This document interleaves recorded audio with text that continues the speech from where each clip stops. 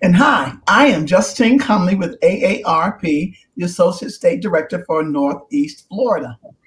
Welcome. We this is going to be a great afternoon, and I can tell you, spring has sprung, and we are really excited about having a program here on Let's Do Lunch. Each month, we meet the third Thursday of the month at twelve thirty, and we have great topics that are educational and entertaining, and really a lot of fun. So we have a wonderful guest today. Justine, tell us about That's our guest. Right. That's right. So today, like you said, spring has sprung, and we're just going to jump right in and dig right into this. We have with us today Mr. Nathan Ballentine. Uh, you might know him around town or nationally as Man in Overalls. Welcome, Nathan. Thank you for having me. Good to be we're here. Glad you're here. So we're just going to dig right in. John, that's a little dirt humor. Dig Okay, we're going to jump right into this. so, Nathan, if you just start by telling us a little bit about yourself and what we're going to do today. Absolutely. Uh, like Justine said, I'm Nathan, uh, man in overalls, and I'm here in um, Jacksonville, Florida. I'm actually in my backyard farm, um, overalls farm, and we've got a little, um, about a thousand square feet of bed space where we have folks in the community who pay monthly and they can come pick whatever they want whenever they want it. Um, but today what we're going to do is do a little demonstration about how to um, grow some of your groceries on your patio, your back porch, what have you, in containers. Great. Welcome, Nathan. I have been to the farm and it is amazing. It's beautiful. It looks great. It smells great. But today we're talking about some container gardening and I'm a beginner. Can you just kind of start at the beginning and give us a little place like where would somebody like myself start? I've never really had the opportunity or uh, wanted to grow vegetables. For sure. So the thing is, is everybody thinks that you have to have a farm in order to have a garden. Um, but by and large, what I find is that folks that have the smallest gardens, they get the best yield per amount of space, you know? And in fact, a lot of folks that have the smaller gardens, they actually have better yield than the really big gardens because they're attentive to it. They, they um, you know, will replant when things die off, when the seasons transition. Um, and you can start in something as small as just like a, a single pot like this. Um, and um, and what you need is good sunlight and some good soil filled up and, and stick a plant in there. But we'll we'll go into more details as we go along. Okay, so here's a question: Should you start with a small seedling or with a seed if you're going to do vegetables or um, a container garden? Sure. That's a great question, and and the answer is both are fine options. Um, when I'm doing containers, I oftentimes start with a plant just because I, I want something to, to jump up and grow. Uh-huh. Um, and um, I, oftentimes, what I do is I I will plant plants. I know it's something that takes a really long time to grow from seed. So, for instance, like um, like these tomatoes here, I usually plant my tomatoes from plants that I get at the store because I can get multi packs like this. You know, six mm-hmm. packs in in one. Uh-huh. And um, you know, let's say this costs four or five dollars for for six plants. Um, these tomatoes take somewhere on the range of like five to eight weeks to get up to size for um, to be good to plant. And um, and for me, it's worth a dollar or two of um, investing in plants in order to not have to take care of that itty bitty little tiny seedling for that long. But then something like um, I've got these green bean seeds, and um, I usually plant green bean seeds because they just pop up so fast. You know, if if you if you bought a plant at the store it would maybe be two weeks old, but probably only about like 10 or 14 days old. Um, and, um, and so I'll plant those as seeds. Another consideration is, you know, how expensive is the produce? So if the, the produce is quite expensive, it's, um, it makes sense to invest more in the plant um, than if something's really cheap. So generally speaking, um, things like um, green beans and squash are on the kind of cheaper end of produce Whereas okay. something like lettuce, tomatoes, peppers are really expensive. So, um, you know, if you spend even $5 on one plant for a pepper, it's no problem because by the time that pepper is gone on and produced, you know, you made your, your money back 10 or 20 times. Okay. So give us um, some tips. We talked about the container and some where to start with the kind of plant. What about the soil? Sure. So let me go back to the container for just a second because I've got these um these uh these were just like plant pots that um that I ordered some other plants in and then I planted those and I had them left over so I just filled it up. And you can use something like that. You can buy these at the store as well. but also, what I want to show you is that you really can use just about anything. So this is a like an old scuzzy five gallon bucket that I had around my house, and and I've used it, and it actually has a hole in the bottom, um, which means that I don't have to drill drain holes in it. It's like pre pre made um, by accident, and so you could just fill that bucket up with um, with good soil, and you'd be good to go.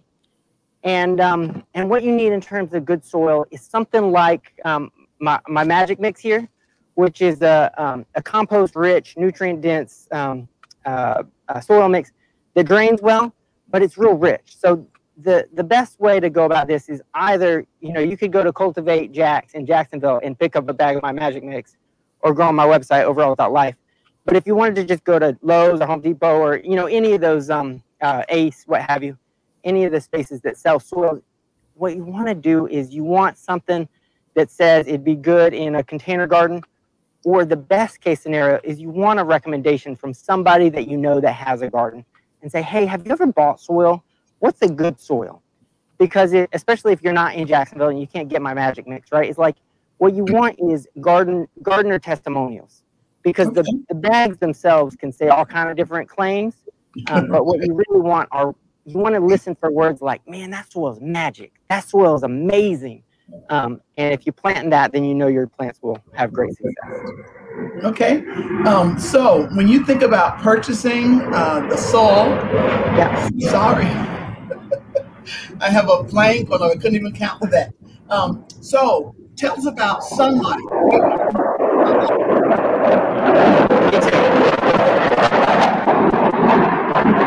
That's that's Jacksonville right there. Jacksonville. That's our. All right, Jacksonville. We're live. And we also want to just to remind you that we will take questions from the audience. So put the questions in the chat and we'll read them to Nathan and we want to be, get your questions answered. So come on and put your questions in the chat. And so while we're uh, waiting for you to put more questions in, we have a few questions for uh, uh, um, Nate. So Nathan, um, how about sunlight and how about watering? You know, the Great you know, question. watering things, do those work? Sure. work? You recommend yeah. not recommend? So in terms of sunlight, what you're really going for is you want at least like four hours of direct sunlight a day. Um, and that can really be any time of day is, is fine. If you can uh, choose, then um, the morning and midday sun is better than that like late afternoon sun. Here the farm, this way over here is um, is east, noon, right? And then that's over there is west. Um, if I had a choice, I would go for morning sun rather than just the afternoon sun. But the truth is, is sun is better than no sun. So always go with the sun. Um, and so if you're trying to grow on a patio or in a, like say in a, inside of a uh, sliding glass door or something like that, you just want to make sure that that window or sliding glass door or balcony is either like east facing, south facing, or if you have to, west facing. Um, but if it's north facing, it's going to be really difficult. Um, and if you find yourself in a lower light situation where you're like, you know what, I think I only have about three hours of sunlight, um, the things that you can get away with are the green leafy vegetables and herbs. So if you think about like lettuces, kale, collards, um, chard, mustard greens, those things, along with like your your um, you know parsleys, uh, dills, fennels, and such like that, they will do better because the leaves themselves are trying to reach out there and grab what sunlight is available. Um, whereas um, if you're trying to grow like a fruit, like a tomato, and we're talking botanical fruits here, all right? So like squash, green beans, all those are, you know, they're technically fruits. Um, those things really like a lot of sunlight because they're just converting sunlight into to sugars and carbohydrates. Um, and um, and the roots as well. So like carrots, uh, beets, potatoes, things like that. They just need a lot of sunlight. So if you've got a lot of sunlight, grow those. If you're marginal in the sunlight, focus in on the greens. Um, so that's the sunlight. And let me just share. There's this app called Sun Surveyor. If you're if you're really looking into to getting into this and you really want to check out your sunlight, you can download it from um, you know the, the App Store, or Google Play, or whatever. And it's called Sun Surveyor, and it actually shows you the arc of the sun. So you can see exactly where it will be in the sky and then count the hours. Um, and then Justine, you also asked about water. And um, I've got my little watering can here. So after I planted, I just would want to water this down thoroughly and soak it, um, so that that whole soil column was wet. And then on a day-to-day basis, I would want to give it a drink. Um, so Nathan, when I was out yeah. in your garden, I saw that you have a really great drip system. You know, the little tubes that are from basically garden plot to garden plot. Um, yeah. Is that hard to install? I mean, would you consider that a good investment of time and money to do something like that? Uh, it, it's wonderful. It's a little bit um, uh, it's a little bit challenging on the setup, but once you get it established, it's kind of awesome because it means that your watering is kind of on is is on autopilot, and you don't have to have those same concerns of like, oh, right, I need to like, you know, get my my children over, I need to get my um, uh, neighbors over to water while I'm away or what have you. Um, the other thing you can do, and I, I forgot to bring out a bowl, but um, there there are all of these containers these days that have they're called like reservoirs or self-watering systems um, mm-hmm. And basically, what it is is it's like a little bowl. Um, you know, the the shape of it is different, but it's basically a a reservoir that holds water at the bottom of your container. So you could even in like this container right here, you could just before you filled it up with your soil, you could put a bowl or like a Tupperware down at the bottom, just so that when you water, some of it stays in the pot. You know you don't want it to be real big because you don't want to waterlog your plants, but you do just want it to be able to hold on a little bit more. And that way it gives you maybe that extra day um, between waters. Um, or in a really hot day, then it, your stuff won't dry between morning and night. Um, so I would say if I was doing a lot of containers, that would be kind of my first step is I would do some kind of like a little reservoir at the base or just get something like a, you know, like a earth box um, and um, uh, a lot of the um, like garden supply catalogs now, you'll see it'll say, "Oh, water reservoir at the base." Um, so I would get that, and then um, if I needed to upgrade again, then I would do the um, the micro irrigation with the containers. Yeah. Would you ever do uh, like rocks or stones in the bottom as a part of that reservoir system uh, that helps to lift the plant, that lift the soil up a little bit? Sure. You know, really the, the reason that people historically use like rocks or bark in the bottom was just because their soil was so dense. Uh-huh. So it depends on your soil. Like if you're trying to go out and dig soil out of your yard to put in your pot, then you do need something that's going to be sure to help it drain better. Okay. Um, but the, the rocks are less about watering, like holding on to water, and more about making sure that the pot doesn't get waterlogged. Right. Um, what about bugs? I mean, you know, Florida has got some interesting creatures that land in our gardens. So how can you protect and prepare and not mm-hmm. damage your plants, you know, with um, proper preparation with pest- pesticides sure. bugs? Yeah. The biggest thing about pests to know is that pests prey on weak plants. It's just like, you know, if we don't get enough sleep and we eat, you know, just drink coffee and, and eat, eat donuts all day, right? Like we're more likely to get sick, right? And we don't get our exercise. Plants are the same way. If they've got good nutrition, they've got adequate water, and if they're growing in season, if you're growing the right thing in the right season, then you have way fewer pest problems. So, for instance, right now on our backyard farm, the only things that I've got pests on are the things that I'm trying to push outside of the cool season. So I have like kales and collards, and really those thrive better when it's cool. And now that it's getting hot, the aphids are starting to show up. And so because I like to have that kale and those collards, I'm trying to push that season, but really that season's over. And I just need to embrace that it's warm now and, and move along. um, so those are, the, those are the biggest things. Good soil, adequate sunlight, water, and growing in season. Um, and then beyond that, the other cool thing that you've got going for you with container gardens is that with a container, you can walk all the way around almost every plant. And so if you see a hole starting in a leaf, you can just flip it over, right? And you you find little Mr. Hungry Caterpillar, you throw them on the ground and you step on them, and you just did your organic pest control, right? Um, but then if you if you do need to kind of like up your game, then um, if you go on my website, overalls.life, I have a resources tab, and I have a little resource called Pesky Pests and What to Do About Them. And um, and there's some uh, organic pest solutions for like caterpillars, aphids, um, and all those kind of the main things that we wrestle with here in North Florida. Okay. So these are some great tips. Um, so tell us the difference about trying to grow. And I'm also, I want to talk about inside. Can you grow your plant, you know, container garden inside? So talk to us about um, vegetables versus uh, herbs or uh, flowers. And sure. And can you mix them? Yeah. Um, uh, the the short answer is if you've got enough sunlight, you can still grow your herbs and vegetables inside. Um, the truth is, is I don't have a whole lot of experience with uh, inside gardens, and there's a few, there are a few just kind of different challenges, like um, like overwatering tends to be a bigger problem inside, because since the soil isn't getting baked by the sun in the same kind of way, then the soil doesn't dry out, and so if you overwater, your plants, um, the roots will rot, and you'll have different kind of problems. Um, but okay. people do it. The, the real trick is just having enough sunlight. Um, and um, and then yeah, you can mix. So like I've got this big pot right here, right? And um, and what I was thinking about is that, you know, I've got a thyme, so we could like take this thyme because it's a low lying plant. And um, you said low lying.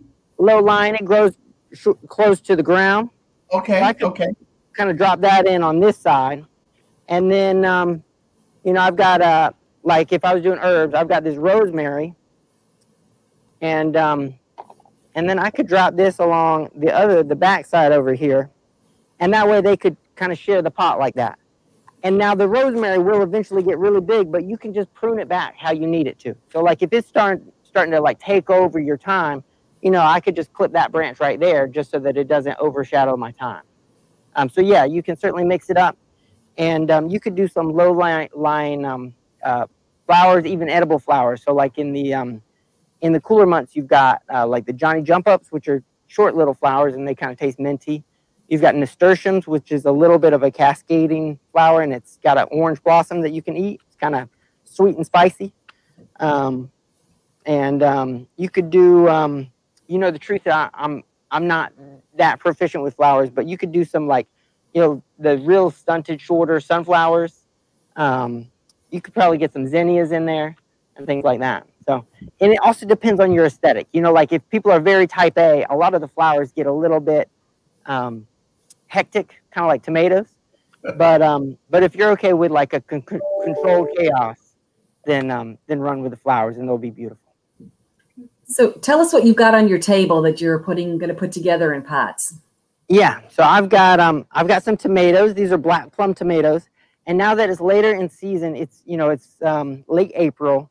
Um, what you want to do if you're trying to still plant tomatoes is you want to plant the smaller varieties like a plum or a, cheer, a cherry because they um, they tend to do better as it gets hotter. The the big slicing tomatoes like beefsteaks and such, they will like grow and bloom, but when it's over about 80 degrees at night, their blooms will just fall off and they won't set fruit. So I've got the um, the plum tomatoes. I've got um, I've got an eggplant. Eggplant loves the heat. I've got a pepper. And then um, back over here, um, I've got a Tulsi basil. And this is a, a word to the wise. If you're trying to grow basil in Florida, it's much easier if you grow any type of variety of basil other than sweet basil. So Napoleon basil, Italian basil, Genovese basil, lemon basil, Thai basil, uh, um, Tulsi basil, African blue basil, honestly, like anything except sweet basil. Sweet basil is just, it's kind of a pitiful plant. So it's the one that we know the most. It's the one you see at the grocery store. But it really just loves like the Central Valley of California where it's hot, but it doesn't ever get humid. Um, because in our climate, it um, it oftentimes get a, gets a fungal disease as soon as like June, July, August hits with our, our rains. But this Tulsi basil, and I wish I wish you could smell this through the um, the camera because it's like it's just like heaven. It's it, it, it's a smell that you don't even think should be able to come from a plant. So good. Um, but I could I could put that basil in here. Um, I could put the pepper in here. If I was doing a tomato, just because it gets a little bit bigger, I'd either want to do it in this bigger pot here or like in this five gallon bucket. Um, and one one other thing to know about tomatoes is um, uh, all tomatoes come in in two you know, there's all the like different sizes and colors and stuff, but then there's the shape of the plant. And there are determinate and indeterminate tomatoes. And when you're growing it in containers, what you want to air for are the determinate varieties. So it'll be like, oh, this is a, a determinate cherry, okay, or a determinate plum tomato. And what that means is its height, its in stage is determined, as opposed to an indeterminate tomato kind of has no limit and it just grows and grows and grows. Um, so if you can, when you're doing containers, you get a determinate variety and that way they don't go quite so crazy on you. If you've made a mistake and gotten one of those, uh, is it best to stake it? To stake it? yeah. Staking's great. And the other thing is don't be afraid to prune your tomatoes. So um, I, I'm I'm a big advocate of of using a stake and then pruning all the suckers, um, which um, uh, I can give you a quick lowdown on just in case y'all are familiar with this. You have your vertical trunk and you have these horizontal branches coming out. And um, I don't know if y'all can see this, but right in that armpit between the two, a little sprout will try to grow, and it's called a sucker. If you're trying to grow straight up a stake, then you just snip those little suckers out as they emerge, um, and that'll help keep your tomato much more controlled. Um, but even like today, I was at somebody's house and they had not pruned their suckers, and their tomatoes were starting to go a little crazy. So what we did, we just kind of like hacked it back, right? We cut like a third or maybe even as much as half of the stems off because they were just, you know, going off every which way. And then we tied the rest of them up together so that they would um, be um, kind of more manageable again. And um, if your tomatoes are healthy, they're going to have a lot of um, those suckers, and um, and so you can just kind of prune them back and try to save the fruit, but get it back under control.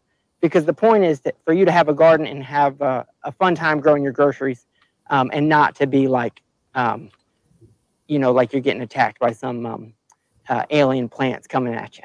Right. Okay. We have a couple questions. We have um, Kathy who's saying, I uh, love, I grow rosemary every year, but I'm not sure what I'm doing wrong. And so, how uh, am I able to grow it in ground as border? Mm. Um, thank well, you, Kathy. Question. Yeah. Thank you. Thank you. Um, rosemary is sensitive to being overwatered. So, uh, you know, I, I, would have to see your yard in particular, but um, if you have a irrigation spraying on it, um, that could be an issue um, you know, it likes enough water, but then it likes to be drained. So it, it it's probably either that um, uh, it's getting too much water or that that water is kind of sitting on it, or on the other extreme, that it's just like kind of not getting any water at all. Um, rosemary is one of these plants that strangely tends to do best when you kind of like plant it and, and leave it alone. Um, I can attest to that because I have a beautiful rosemary plant on my porch in the back, and it gets direct sun. It it faces west. It's hot. It's on the marsh, and um, and I I barely water it, and and it just leave it to the rain to give it its water. So it's it's a pretty big bush now. Yeah, it's beautiful. The other thing is is to your point. Um, the um, the rosemary really likes the sun. So if it's in a low light environment, it's going to kind of struggle. So that could be it as well. Uh, Kathy also talked about um, being in um, Jacksonville and Fort Caroline, and just talked about sandy soil. What what do you do with sandy soil? What can you do with sandy soil? Is um, is you can enrich it. That's the biggest thing.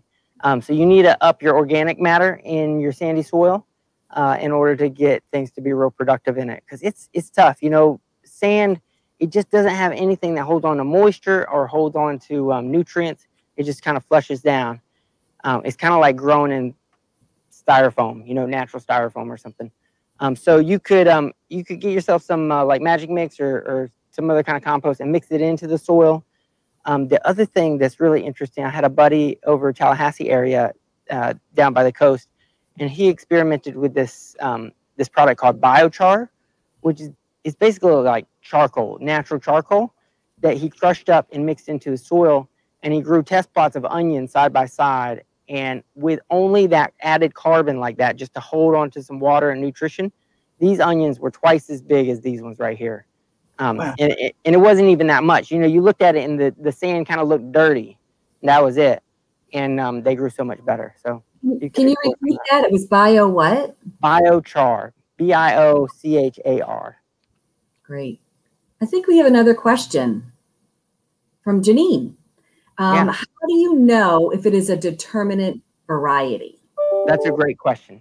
If you're buying from a store, then usually on the plant label, in big letters, it will say like, you know, Better Boy or Sun Gold Cherry Tomato or something like that. But if you look real close, kind of underneath, usually in kind of like parentheses, it'll say determinate or indeterminate. Um, and um, and hopefully it'll it'll say on the label. That's that's the way you would know, um, because sometimes you can get um, thrown off by um, uh, you know like the the same the same cherry tomato could be a determinate and a or an indeterminate. So um, look for that little mm-hmm. statement underneath the the main variety name. That's great. Um, I think we had another quick little question about the basil. You had mentioned that the sweet basil is not the kind to select, um, but where would you get that other variety? And you know, again, can you repeat the names of the? I've heard lemon basil, and there was a couple other. Um, I know, right? Who knew? Who knew? Who knew, right? Yeah, because the one that everybody tries to sell you is sweet basil. So the varieties are um, Napoleon, Italian, uh, lemon, Thai, African blue, African spice, wow. and Tulsi, T U L S I, or uh, also known as holy basil because it's a um, it's a religious plant in India.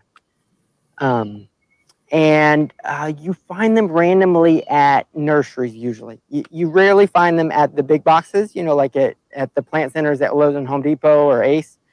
Um, but you'll find them at the um, the local nurseries. Like I was um, here in Jacksonville, I was out at Gore's the other day. I've gotten them at Plant Place.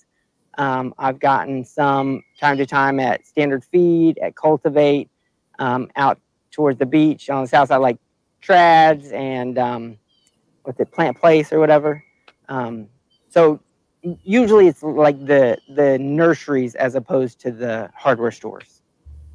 Yeah, that's great. Those are um, really, really great tips. And because I, on occasion, will get a little uh, wild hair and go to my Publix and they'll have, you know, the plant, a basil plant for two or four dollars, whatever it is, and just stick it in the ground. So I'm probably assuming you're, that that's a sweet basil if it's a commonly placed.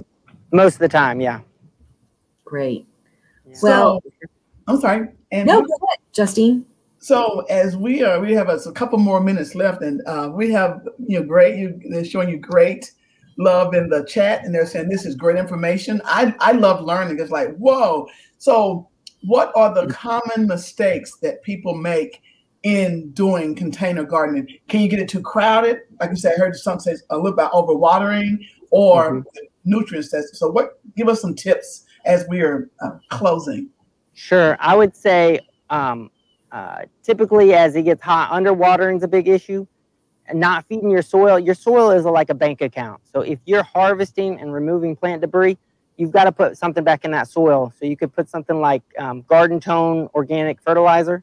Um, and every time you har- every time you um, remove a plant and like replant another season, you want to be thinking about recharging that soil. Um, that's the biggest thing. And the other thing is that people have this complex around um, killing plants. And the truth is, is I have likely killed more plants than everybody on this this um, video combined, right?